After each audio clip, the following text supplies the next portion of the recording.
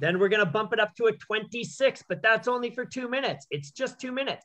And if you're like, there ain't no way I'm getting a 26, that's okay. Stay at the 24, go down to 22. It's all good. Listen to your body. But we want to, whatever we're doing, we want to hold that good technique. That's the key.